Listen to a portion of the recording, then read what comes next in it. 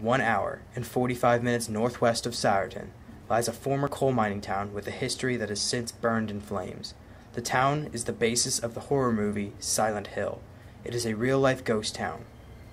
I'm talking about Centralia, Pennsylvania.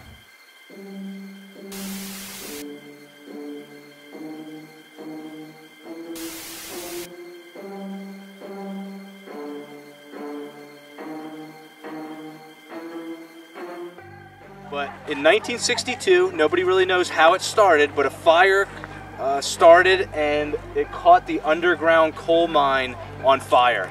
And it is still burning today. So Centralia has become one of Pennsylvania's most popular tourist attractions, with places like Graffiti Highway, an abandoned stretch of road where people can leave their mark.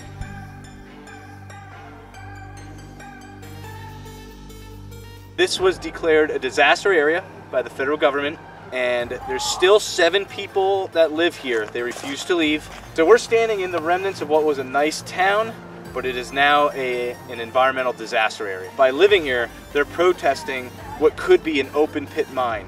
So as long as there's someone living here, uh, open pit mine cannot occur.